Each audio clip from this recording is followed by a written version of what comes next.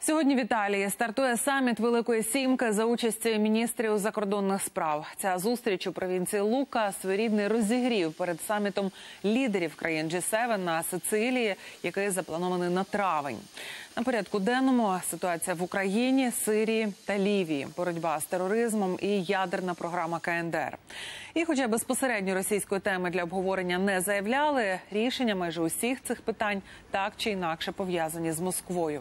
Окрім голів МЗС, в саміті візьме участь лідер дипломатії Євросоюзу Федеріка Могеріні.